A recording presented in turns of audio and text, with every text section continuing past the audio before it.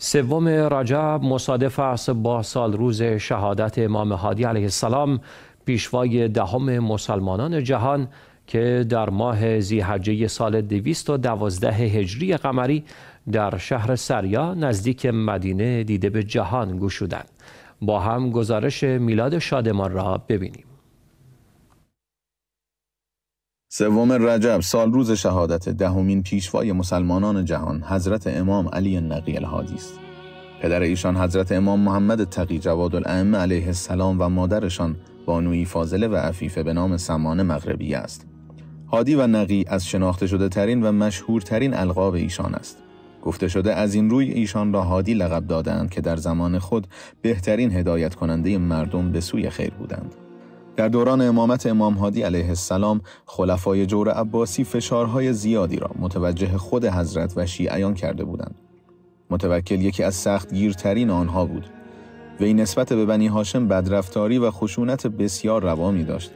او به آنان بدگمان بود و همواره آنان را متهم می نمود. متوکل در خشونت و اجحاف به خاندان علوی گوی سبقت را از تمامی خلفای بنی عباس رو بوده بود.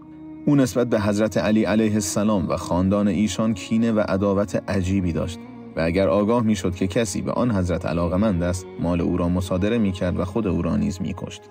یکی دیگر از اقدامات خصومت آمیز و جنایتکارانه متوکل علیه شیعیان تخریب مرقد متحر حضرت سید الشهدا علیه السلام و شخم زدن و هموار کردن زمین های اطراف مقبره و زراعت بر روی آن و سختگیری شدید بر زائران امام حسین و مجازات های هولناک آنهاست.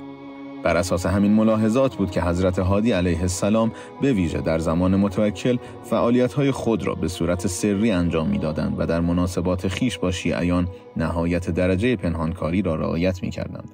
سیستمی که زامن پیدایش و دوام و استحکام این ارتباط بود شبکه وکالت بود.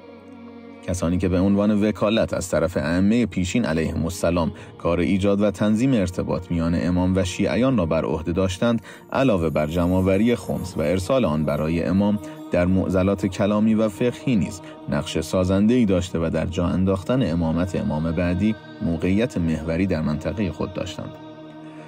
امام هادی با آنکه در سامر تحت کنترل و مراقبت قرار داشتند اما با وجود همه رنج ها و محدودیت ها هرگز به کمترین سازشی با ستمگران تن ندادند. بدیهی است که شخصیت الهی و موقعیت اجتماعی امام و نیز مبارزه منفی و عدم همکاری ایشان با خلفا برای های زمان حراس آور و غیر قابل تحمل بود و پیوسته از این موضوع رنج می بردند و سرانجام تنها راه را خاموش کردن نور خدا پنداشتند و در صدد قتل امام برآمدند. بدین ترتیب امام هادی نیز مانند امامان پیشین علیهم السلام با مرگ طبیعی از دنیا نرفتند بلکه در زمان معتز و به دستور او مسموم و به شهادت رسیدند و در سامر را در خانه خیش به خاک سپرده شدند.